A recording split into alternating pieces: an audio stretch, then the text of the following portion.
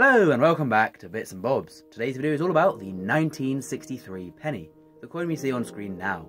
Firstly in the video I'll talk to you about the design of the coin on both obverse and reverse, and then we'll move on to the facts and figures of the coin. The design features the iconic Lady Britannia, seated with the shield to her side, holding the trident in the air, and wearing her helmet and drapes. This is the portrait of her done by Leonard Charles Wyon and adorned the one pence piece from 1860 to 1970 a long-running design. Behind her can be seen to the left a lighthouse, and the words one penny either side giving the denomination, as well as the date, in this case 1963, below her at the bottom of the coin. There is also beading or teeth around the design to deter from the coin being clipped, especially this is important as the coin features a plain rim or no reeding on the edge of the coin, so those beads are more important. Now then, as you've seen, we've flipped over the coin to see the obverse of the coin, where we can see the portrait of Her Majesty Queen Elizabeth II. This is her first portrait, done by Mary Gillick, and features the Queen facing to the right, wearing no crown, but with her hair up and a laureate in her hair. The legend around her reads Elizabeth II Dei Gratia Regina FD.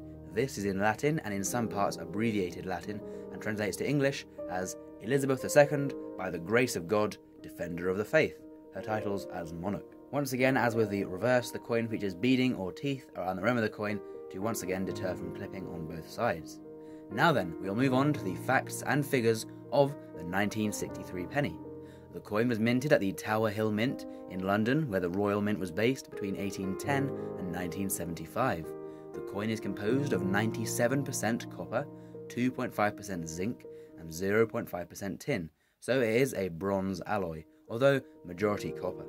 The weight of this coin is 9.6 grams, so is fairly heavy compared to others at the time, and has a diameter of 30.8 millimeters, so once again is a fairly large coin compared to others circulating at the time. The mintage of this coin is 125,235,600, and so is an immensely common date, very easy to find.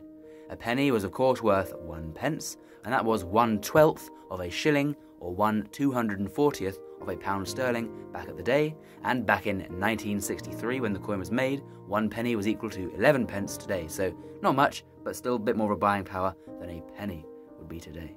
The coin was finally demonetized on the 14th of February 1971 as the new pennies were introduced with decimalization taking place that day as well. Now then, after all these years, what is the value of a 1963 penny? In poor condition, it will sell for around 99p, fine, £1.30, extremely fine, £3, and even in uncirculated, only £7. So a very cheap and affordable coin due to the incredibly high mintage figure, but a great design still, and a cool coin to pick up for a nice low price to get one in good condition. So there we go, the 1963 penny. Please do subscribe if you have one of these coins, and if you enjoyed watching this video. And of course, a big thank you to everyone for watching. We hope you've enjoyed, and we'll see you again soon for more coins on the Bits and Bobs channel. Bye.